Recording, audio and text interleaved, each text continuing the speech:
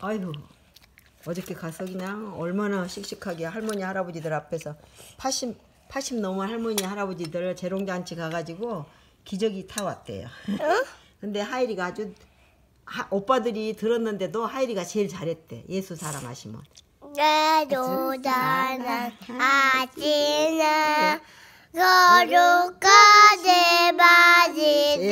이런 거 잘 먹으니까 이렇게 노래 잘해요. 자. 이도도지 디자이너. 이자는 마이크가 막 나오더라고. 밥을 내기도 응. 이자 원두 인디랑 내야 예뻐 이 스트랑. 야, 잘 먹. 먹고 또 가리도 God is so good.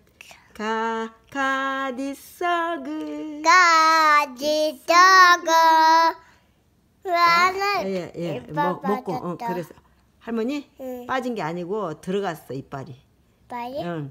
나중에 지난번에 막, 어, 놀러 가서 음식 맛있게 먹고 있으니까 할머니가 옆에 있어서 할머니한테 뭐라고 그랬어?